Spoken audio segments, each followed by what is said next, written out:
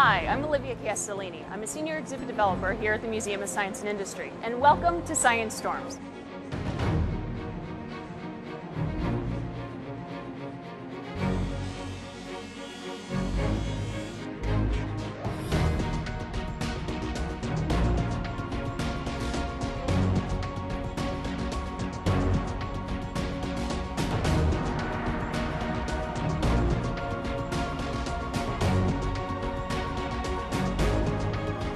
This is the tornado. It's a 40 foot tall vortex of air.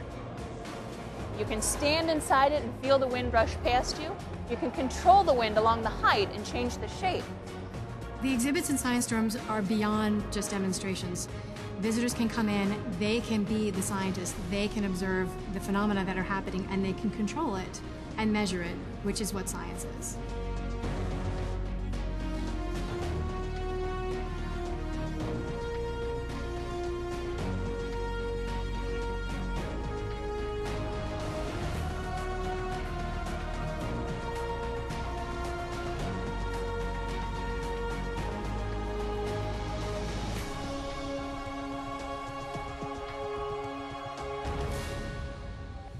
It was very important for us that people be able to come in and have an experience doing science for themselves. We didn't want to create something where it was you come in, you hit a button, and you see something happen. We really wanted people to get into um, this process of seeing something and having an opportunity in the exhibit space to really investigate that. In the fire exhibit, you get to see the battle between water droplets and the fire as those two things compete to stop the reaction.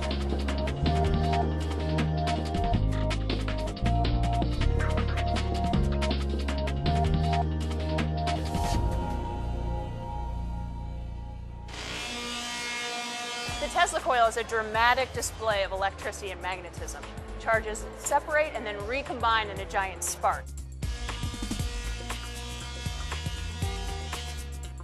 Each one of the experiences starts with um, the basic science and it builds on that. It draws you into the story. It makes you a part of that story. It gives you an opportunity to participate in the story. And then it helps you draw a conclusion that you can continue to think about and ask questions about long after you've left the museum for the day.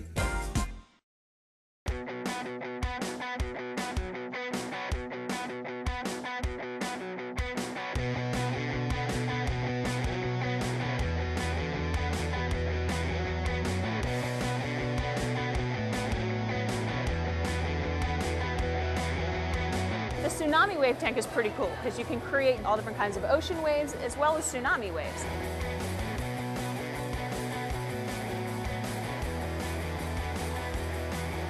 So you choose the amount of energy and then you send that wave down the tank and you watch it propagate and inundate on two different kinds of coastlines.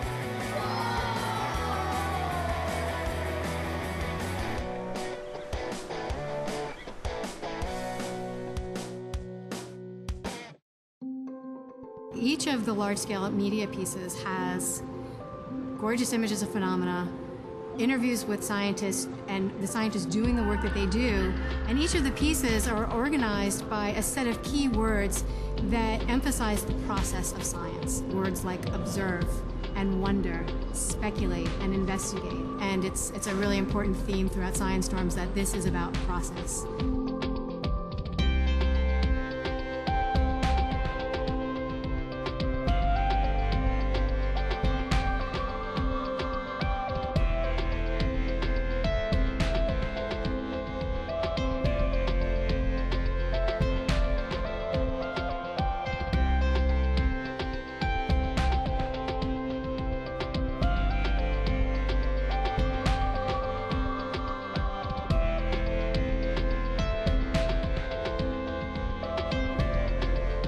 Avalanche is a 20 foot diameter disc filled with garnet sand and glass beads.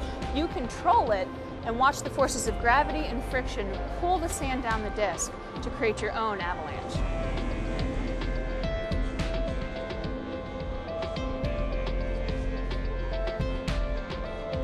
My favorite thing in Science Storms right now would probably have to be the projectile motion interactive. Something as simple as shooting a basketball, but looking at it scientifically.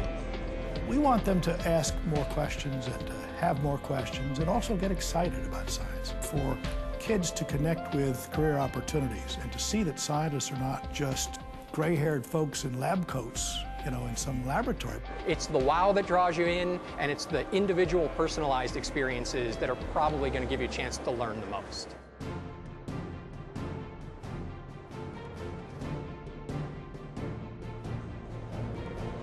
Are so many cool things to see and do here at Science Storms. You have to come see it to believe it.